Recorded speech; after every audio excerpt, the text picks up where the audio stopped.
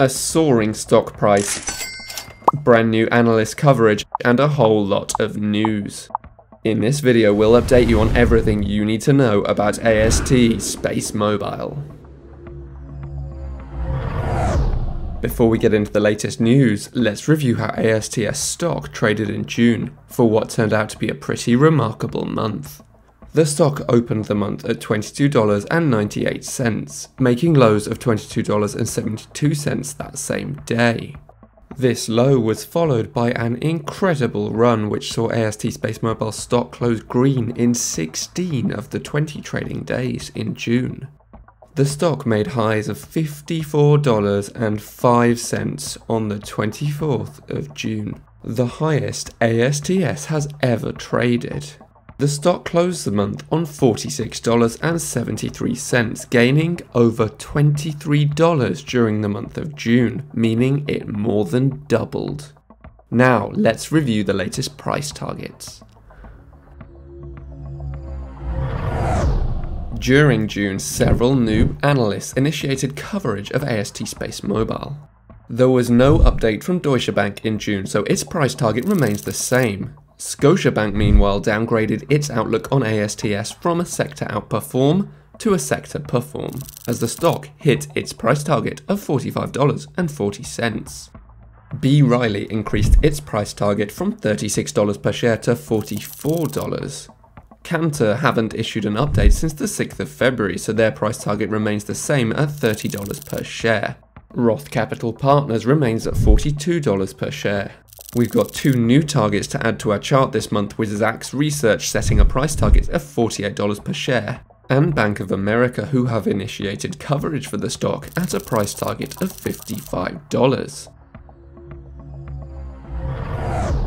Vodafone is one of AST's most important partners. Back in December 2024, AST signed a definitive agreement with Vodafone that stretches through to 2034. One month later, the brand demonstrated the capabilities of AST's Block 1 Bluebirds by holding the first satellite-to-device real-time video call. This call was held in the UK, which is where Vodafone has just merged with the Mobile Network 3. Before this merger, the UK had four independent mobile networks run by EE, O2, Vodafone and 3, with all other operators using one of these four networks. Going forwards, there are now just three networks, with the Vodafone 3 network the largest of these, with a total of 27 million customers. The 10 million plus customers joining from 3 will all soon be able to benefit from AST's technology for seamless connectivity, wherever they are in the UK. Sticking with Vodafone, in June, VI, also known as Vodafone Idea, announced that it would be joining AST Space Mobile as an MNO partner. VI has over 210 million subscribers across India. The Vodafone Group is a major shareholder in VI, along with the Indian government and several other parties. VI has been under financial strain for some time, so it's hoped that offering satellite-to-device broadband services could be one of the things to help turn the company around. In our final piece of Vodafone related news this month, Satco, the joint venture launched in March this year between AST SpaceMobile and Vodafone, has announced its headquarters will be based in Luxembourg. In an article covering the announcement, Vodafone shared that MNOs from 21 EU member states had expressed interest in its direct-to-device satellite broadband offering. Vodafone expects Satco's commercial service will begin sometime next year. Interestingly, Blue Origin, another partner and key launch provider for AST Space Mobile, also recently announced that it too had chosen Luxembourg for the home of its European base.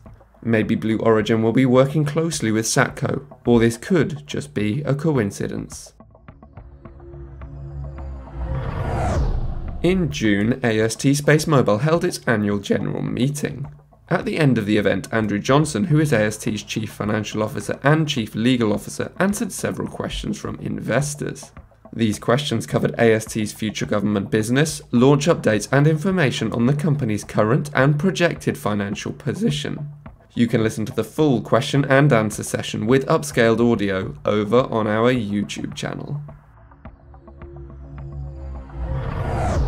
The 5G Automotive Association, also known as the 5GAA, welcomed AST SpaceMobile as a member in June. The 5GAA is a global organization focused on bringing together parties from the automotive, technology, and telecommunications industries to develop transportation solutions for the future of mobility. Adding AST's tech will help to revolutionize connectivity across the automotive industry, something that could be very important to support the future of connected autonomous driving. This month we got confirmation that ASTS will move from its current position as a member of the Russell 2000 Index up into the Russell 1000 Index. The Russell 1000 Index tracks the performance of the 1,000 largest publicly traded companies in the United States, making it a key stock market benchmark. The move took place after the market closed on Friday the 27th of June. AST has now completed development of its AST 5000 ASIC chip. This chip is a step change from the company's current FPGA chip and is part of the technology needed to support 100 megabits per second data speeds, enabling 10,000 megahertz of processing bandwidth per satellite. When answering investor questions at AST's AGM, Andrew Johnson said that the chip would be available for satellite integration during June 2025, meaning ASIC chips might be going to space sooner than expected.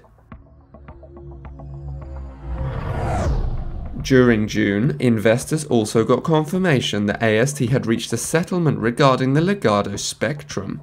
AST now has long-term usage rights to 40 MHz of premium lower midband spectrum in Canada and 45 MHz of premium lower midband spectrum in the United States.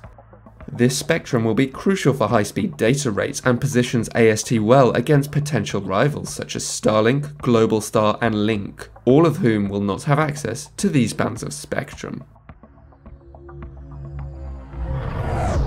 In June, AST submitted an application to the FCC for its full constellation of 248 satellites.